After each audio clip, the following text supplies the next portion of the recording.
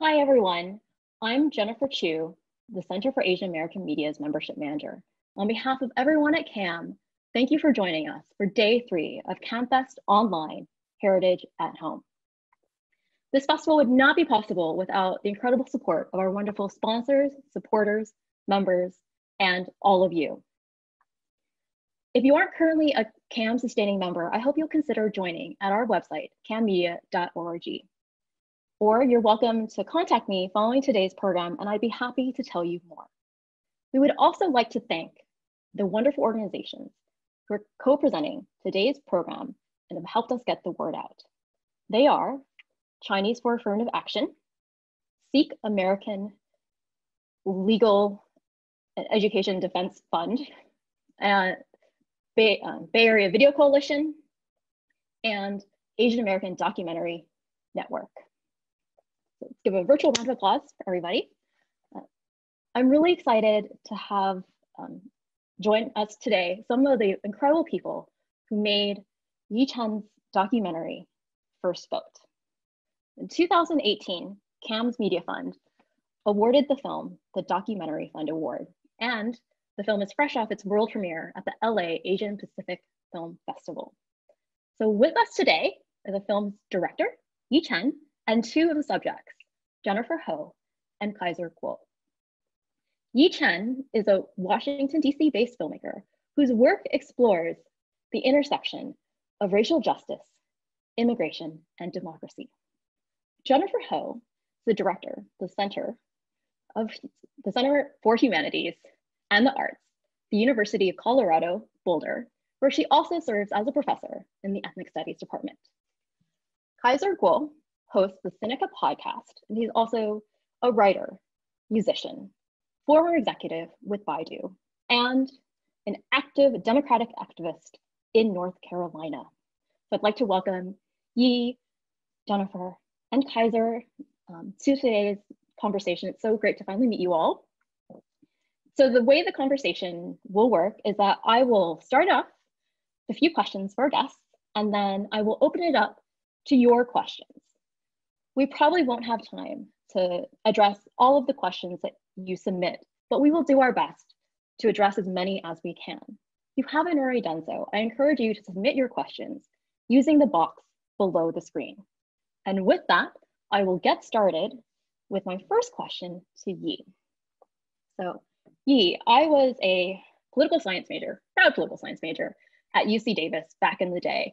So films like yours and other and film other films that kind of explore in depth the kind of democratic process, voter behavior, and voter participation really fascinate me. And I really loved your film and how, how many topics you covered and the, just the diverse range of, of subjects that you included. Can you tell us more about how, what drew you to the subject, what inspired you to make the film, and a little bit more about the filmmaking process and even um, locating your subjects? Yeah, thanks for having me, Jennifer, and uh, thanks, CAAM, for supporting the film um, very early on. Um, yeah, so I am an immigrant. Um, I was born and grew up in Shanghai, and I was um, becoming a naturalized citizen back in 2017 when I first started the project. Um, so I've always been interested, um, coming from a country where, you know, I've never voted before um, and a country without democracy. I, you know, I've always been interested in um, how democracy work here in the United States. Um, so particularly um, in 2016, um, you know, I noticed this rise of the Chinese Americans for, for Trump movement um, and how it really divided our community on a very personal level. So I read Kaiser's article of how it affected his family um, so yeah, I became interested in um, this uh, this um, subject of um, voters in my own community and their civic engagement and participation. Um, so I, you know, I wanted to find characters in um, in battleground states, and I wanted to find uh, characters from uh, both sides of the both parties um, so that's that's how the project got started. Um, I find Kaiser because of the article he wrote. Um, and um, I think I messaged him on LinkedIn um, out of blue. uh, and um, yeah, I found Jennifer actually through um, a CAAM um, uh, hosted event. Um, yeah, Asian American storytelling in the South, and she oh. was uh, one of the the speakers. Um, and the other two characters, um, so Sue Googe, um, she was already known in, um, uh, in, in the community. She ran for Congress in 2016. So I started asking around people and heard about her. Um, so yeah, and, and I, I got on those WeChat groups and started um, going to um, their events and started talking to people. Um, and there are a few of them told me that they listened to this podcast by this um, this guy in Ohio. So I, yeah, they're they're all like, you should you know you should interview him. So so I reached out to him. Um, yeah, so that's how I found the the four characters. I think what is really um, compelling and fascinating about these four characters is that they are all very um, passionate and very engaged um, in what they do and in very different ways. Um, so as you saw in the film, Lance has a podcast and, you know, um, and Jennifer teaches um, critical race theory, Asian Americans in the South. Um, she's an educator and Googe, she ran for office. Um, and Kaiser, you know, she moved back in 2016 and she he felt very strongly about um, the rise of the Chinese American for Trump movement and he was very actively doing uh, phone banking and door knocking. Um, so I think I was very lucky to find these four very compelling characters that are doing like very different things uh, yeah, I mean, I, I think that is one thing that I find most fascinating about the film is just the incredible, just the background and the experience and everything that each character brings to it, and how you were able to represent different um, views along the political spectrum. I really respect that, and I think that it's important for people to understand that. And so, thank you for sharing more of that background with us. I think my next question speaking of characters, I'm going to throw it to Jennifer and Kaiser. I would love to learn more about your experience being part of this film and what you think now that you have seen it and while, uh, while we're in this kind of um, interesting climate. Hmm. After you, Jennifer. Well, I no longer live in North Carolina. And so when I saw the film again, and now that I live in Boulder, I realized something, which is that I, I subconsciously pulled some punches that I wasn't actually as maybe fervent and passionate as I would be now, being outside of the US South and outside of North Carolina. And I say that in no way to disrespect people in the US South or my time in, in Chapel Hill um, that was instrumental, but there's a segment where I talk about the North Carolina legislators. And in hindsight, I realized that I was really conscious of Yi's film perhaps being viewed by um, donors of UNC Chapel Hill, and that those donors would be really unhappy with some things that I would say, and that that could have um, that could have ramifications for me as a university professor.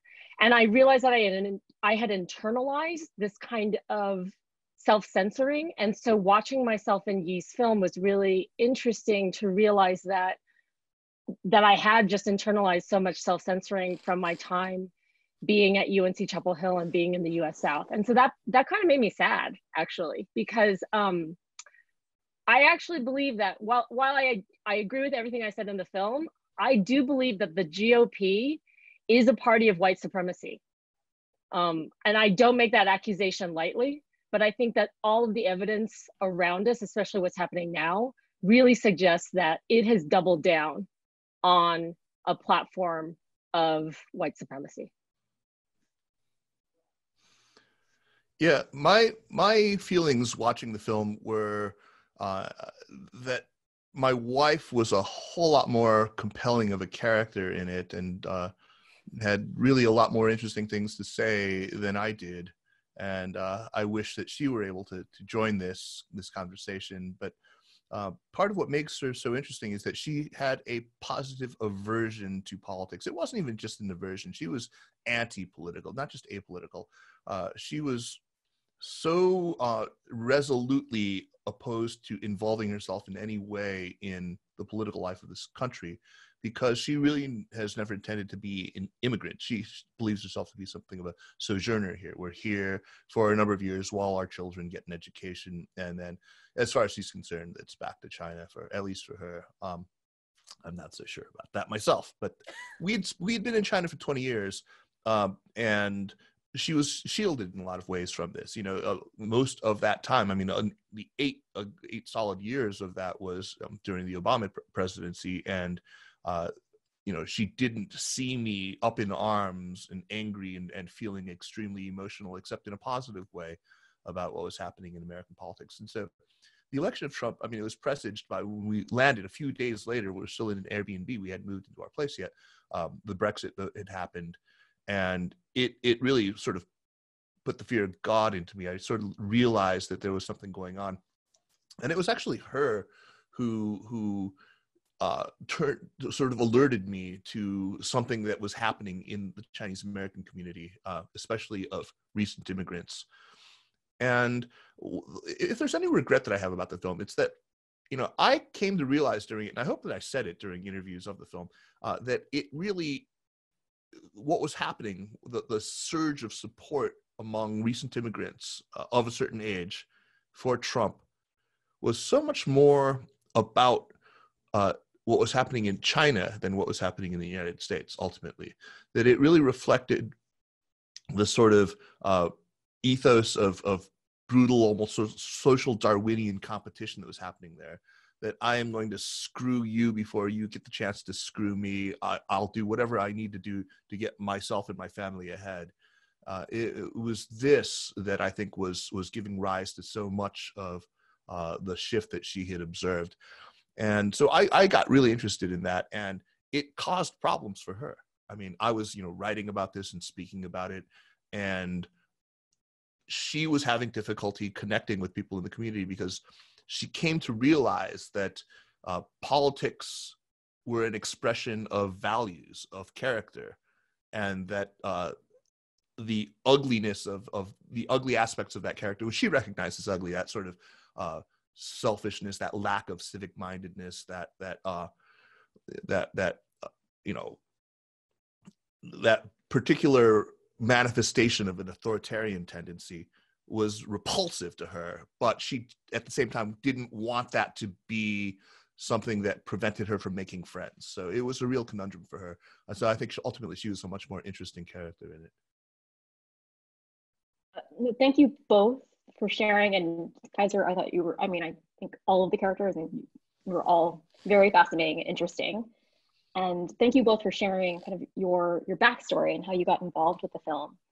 We've actually received a lot of questions just in the last few minutes. So I, I'm going to throw, I'm going to start um, with the questions from our wonderful audience. So the first question is from Toby. They ask, thanks for making this documentary. It's so rare to find a deep dive into this segment of our political landscape. Oh, how did you go about finding the subjects? How did you persuade them to participate? So Yi, I don't know if you want to elaborate on your explanation earlier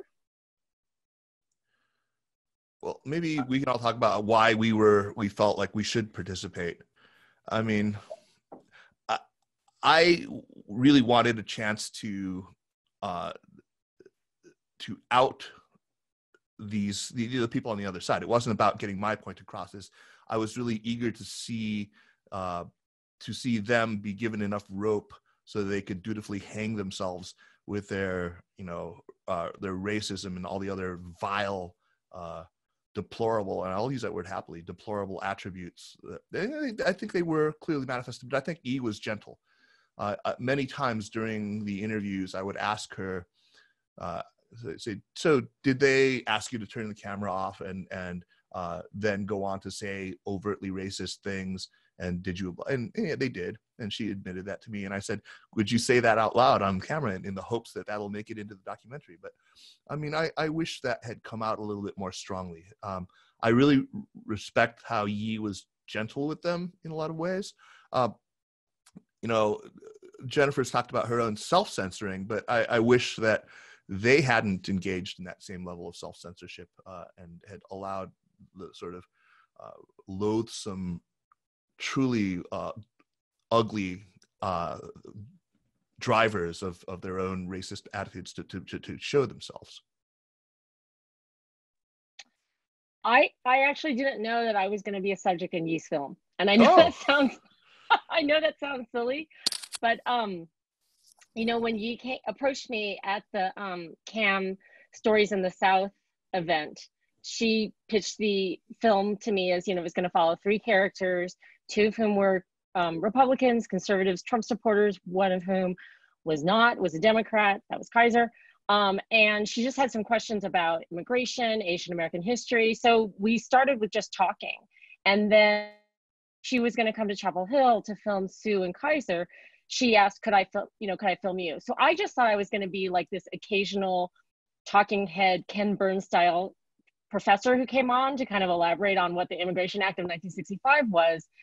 And um, you would think I would have been smarter, but then by the number of times that you came and filmed me, that I'd have a bigger presence in the film. But it wasn't until I saw the film and I saw, well, it wasn't until I, I, I saw that I was one of four images used to, to promote First Vote. And I was like, oh, maybe I have a bigger role in this than I think.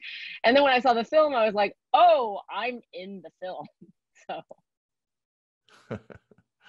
Yeah, so I, I actually met Jennifer actually a year. So I started the project in uh, January 2017, and I met Jennifer um, in February 2018. So um, it was a, actually a year, after, actually six months after I started production.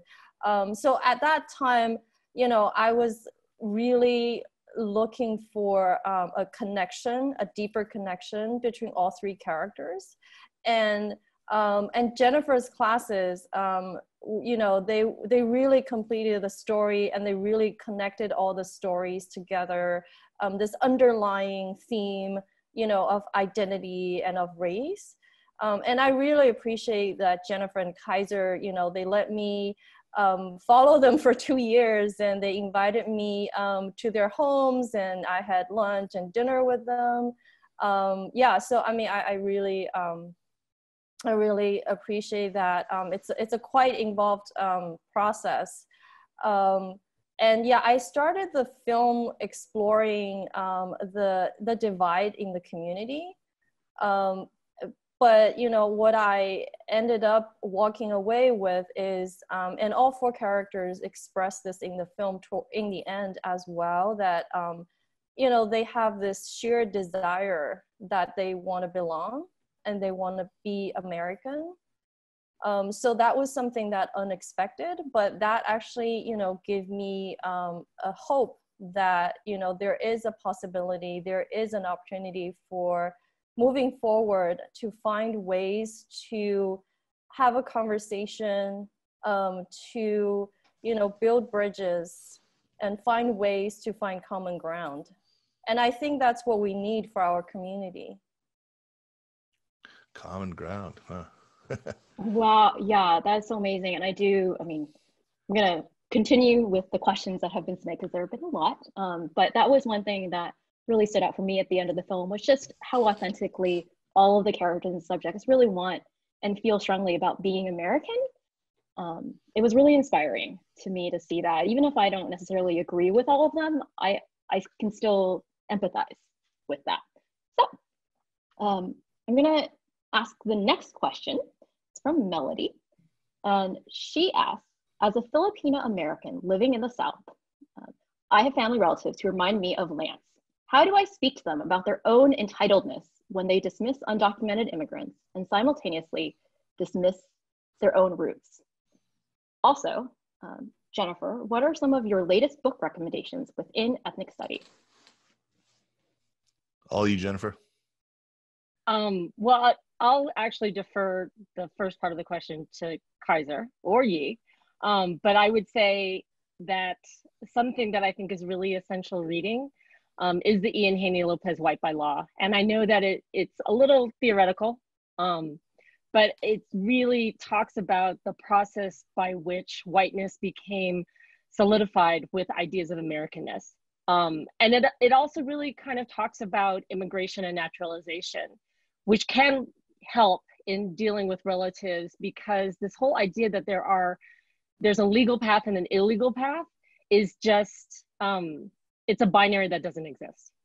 Um, and then can I also just pr promote one lovely novel by Monique Truong called Bitter in the Mouth, which takes place in Boiling Springs, North Carolina in the US South. And that's, if you want to read about Asian Americans in the US South, it's a magnificent novel. Hmm. So there's the advice that I would give, uh, you know, ideally, that I would suggest that we exercise empathy, a real cognitive empathy. We understand their own life experiences, their own uh, perspectives, and how they, those were forced by often, you know, we don't we don't chalk it all up to flaws in character or. Uh, but then there's also, I mean, and, and, I think there's a lot to it, and I, I, that's what I would I would say. And and if I may add a, a book recommendation, uh, I think "Strangers in Their Own Land" is a, a very fine book uh, written by a UC Berkeley anthropologist who tries to sort of you know get inside communities in southern Louisiana, understand why these people seem to be voting against their own economic interests. These are people whose lands and lives were devastated by environmental catastrophes uh, related to the petroleum industry, and yet who consistently vote in favor of uh, deregulation and who are opposed to environmental regulation in any form, uh, and and who were you know activists in some cases for the Tea Party and who voted for Trump. So that's a very very good book. Um, I am incapable of that at this point, though. I, I really don't. I can't exercise that empathy. Uh, I feel like I have almost no common reality with you know your uncle who is like Lance, and I would say that, you know I the, the way I would I carve those people out of my life often, or eh, because sometimes it's just an insurmountable chasm, and I will often. Uh, I, I would suggest that you know you just simply arm yourself with you know fact with understanding that but understanding also that that side is often completely deaf to fact that you know it is so it has gotten so dogmatically anti-intellectual that uh, the more fact you you wield the, the more you you are now part of of this sort of elite uh, academic establishment that is opposed to you know the real America or whatever. So I no, I it's it's it's an extremely difficult thing. I mean, there's a polarization is what it is in this country for a reason, and I don't think that you know holding hands and singing "Kumbaya" is going to do a damn thing about it right now. I think defeating them electorally is is the only path forward right now. Oh, oh yeah, I I would recommend um, I would recommend uh, Ian Haney Lopez new book Merge Left, um, which is a wonderful book. Um, I, I mean, I hope that the, and thank you for the question. I've actually been getting this feedback um, uh, quite often from audience that they have family members, um, uh, older generation who are actually Republicans. And so I, you know, I'm actually happy to see that the film could, in a way, open up that generational dialogue.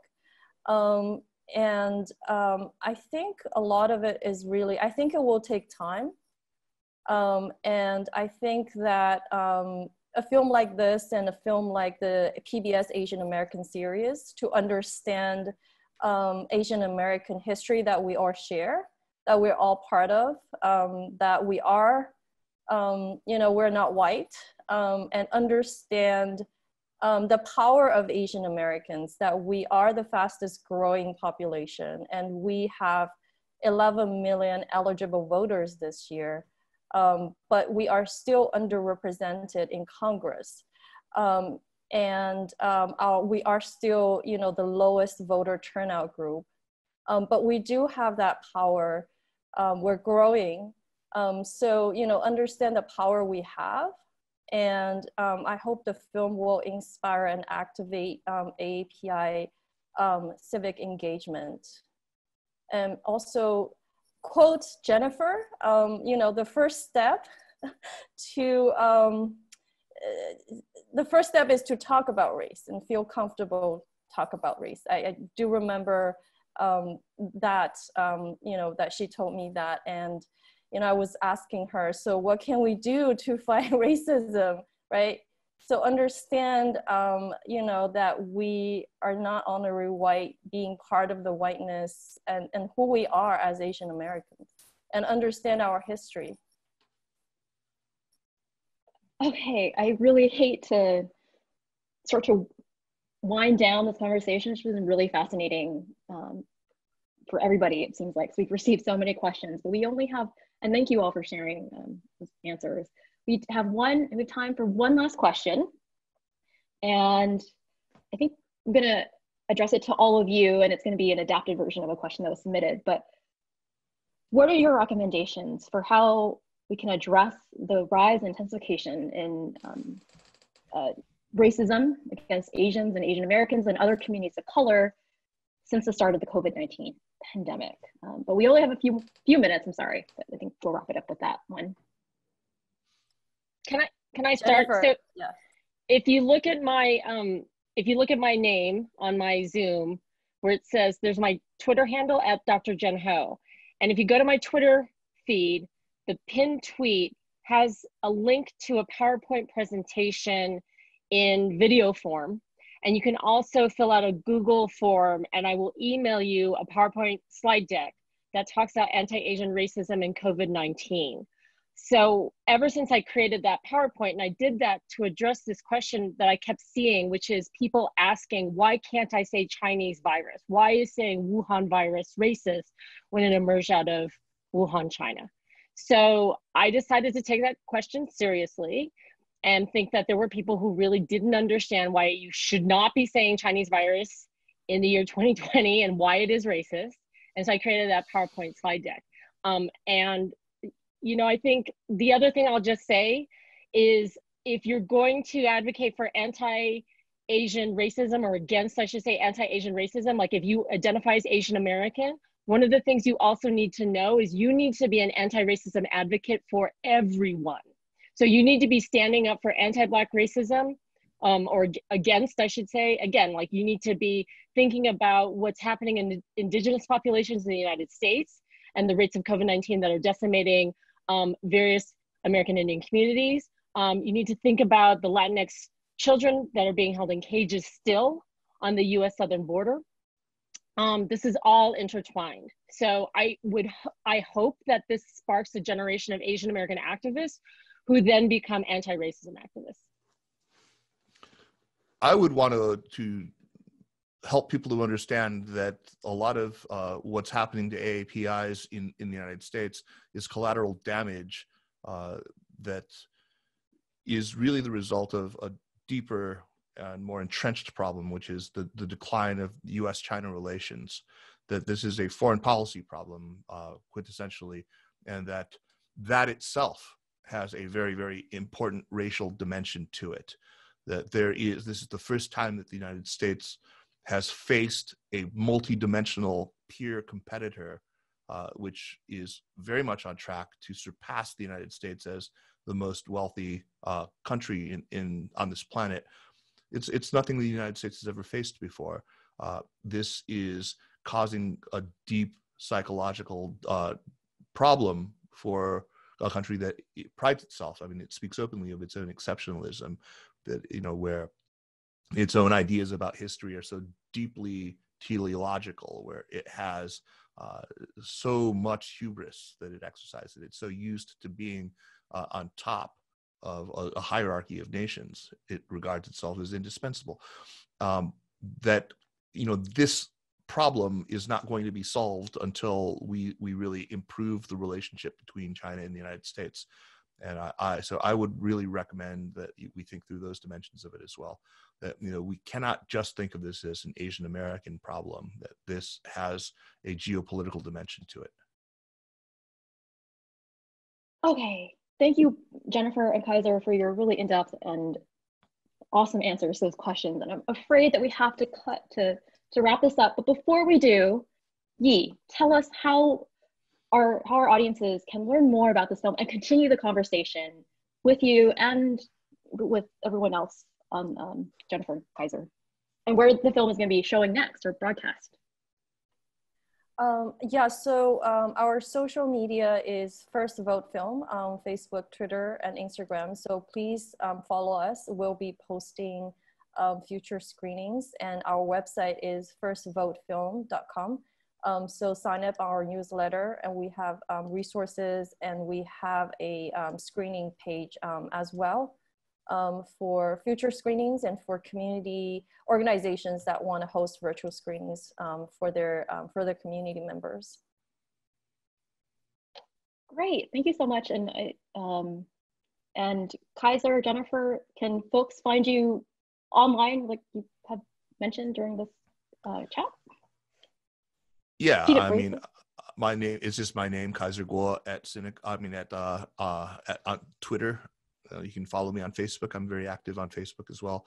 But uh, most importantly, uh, subscribe to the Sinica podcast. It's a weekly in depth conversation about uh, China and the United States mostly, but uh, all about current affairs in China.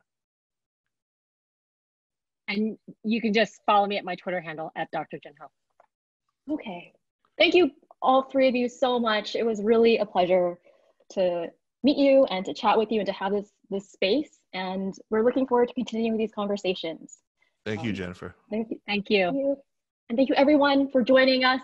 Please stick around. There are five more days of CAAMFest online. Check out the website caamfest.com and we will see you next week.